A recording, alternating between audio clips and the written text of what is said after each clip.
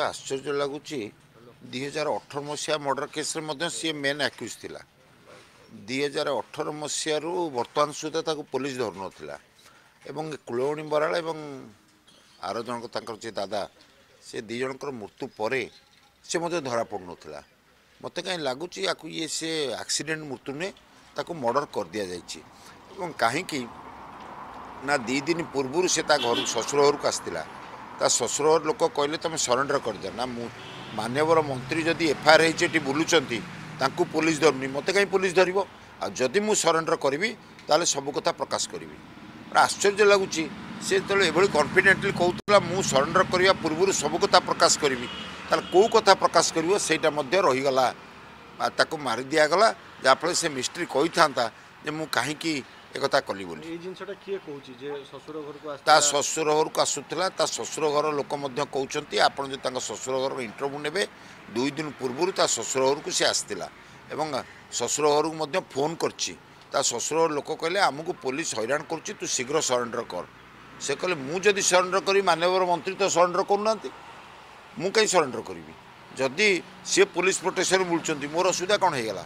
ନା ନାଇଁ ତ ବହୁତ ଅସୁବିଧା ହେଲାଣି। ଆମକୁ ବର୍ତ୍ତମାନ ପୋଲିସ ରଖେଇ ଦେଉନି। ସବୁଦିନ ଆମ ଘର ରେଡ୍ ହେଉଛି।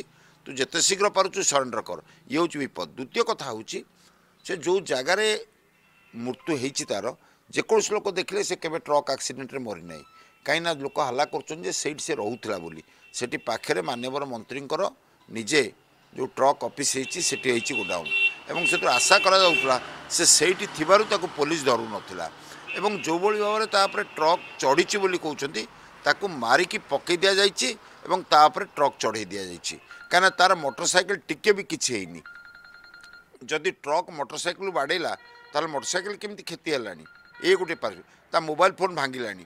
ଏଥିରୁ କ୍ଲିଅର ଜଣାପଡ଼ୁଛି ଯେ ତାକୁ ମାରିକି ସେଇଠି ପକେଇକି ଟ୍ରକ୍ ଚଢ଼େଇ ଦିଆଯାଇଛି ଏବଂ ଦୁର୍ଘଟଣା ନାଁ ଦିଆହେଉଛି ମୁଁ ଭାବୁଛି ଯେ ପୋଲିସ ଡିଜି ଅଛନ୍ତି ନିଶ୍ଚିତ ଭାବରେ ଆକୁ ତଦନ୍ତ କରିବେ। କାହିଁକିନା ଏ ଗୋଟେ ବଡ଼ ଘ- ଘଟଣା ଖଲାସ ଖୁଲାସା ହେବାକୁ ଯାଉଛି। ଯଦି ପ୍ରକୃତରେ ନିରପେକ୍ଷ ତଦନ୍ତ ହୁଏ ତାହେଲେ ଜଣାପଡ଼ିବ ପଛରେ କିଏ କିଏ ଅଛନ୍ତି ଏବଂ ତାକୁ କିଏ କିଏ ମର୍ଡ଼ର କରିଛନ୍ତି। ସେ ତ ଦୁଇ ଜଣଙ୍କୁ ମର୍ଡ଼ର କଲେ ଏବଂ ଆକୁ ମଧ୍ୟ ମର୍ଡ଼ର କରି ହଟେଇ ଦିଆଗଲା ସବୁ ସାକ୍ଷୀ ପ୍ରମାଣ ସହ।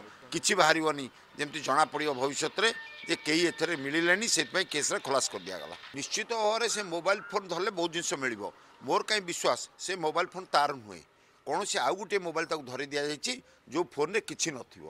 ଏ ମଧ୍ୟ ସ୍ପଷ୍ଟ କାହିଁକି ଯଦି ଏଇ ଫୋନ୍ ନମ୍ବରରେ ସେ କଥାବାର୍ତ୍ତା ହେଉଥିଲା ପୋଲିସ ନିଶ୍ଚିତ ଭାବରେ ଟ୍ରାକିଂ କରିଥିବ। ଆଉ ଯଦି ତାର ଅରିଜିନାଲ ଫୋନ୍ରେ ସେ ଏକଥା ସମ୍ଭବ ହେଇଛି ତାହେଲେ ନିଶ୍ଚିତ ଭାବରେ ଜଣାପଡ଼ିବ ଯେ ସେ ଫୋନ୍ରେ ସେ କାହା କାହା ସହିତ କଥା ହେଇଛି। କିନ୍ତୁ ମୁଁ ଭାବୁଛି ଏଇଟା ଅରିଜିନାଲ ଫୋନ୍ ନୁହେଁ ଆଉ ଗୋଟେ ଫୋନ୍ ତାକୁ ଧରେଇ ଦିଆଯାଇଛି ଯେ ଏଇ ଫୋନ୍ରେ ଦେଖନ୍ତୁ ସେ କାହାରି ସହିତ କଥା ହେଇନି। ଆକୁ ପ୍ରମାଣ କରିବା ପାଇଁ ତା ଫୋନ୍ ସୁରକ୍ଷିତ ଅଛି ତା ମୋଟର ସାଇକେଲ ସୁରକ୍ଷିତ ଅଛି ତା ବ୍ୟାଗ୍ ମଧ୍ୟ ସୁରକ୍ଷିତ ଅଛି କିନ୍ତୁ ସେ ମରିଯାଇଛି। ଏଥିରୁ ସ୍ପଷ୍ଟ ଜଣାପଡ଼ୁଛି ଏଇଟା କ୍ଲିଅର ମର୍ଡ଼ର କେସ୍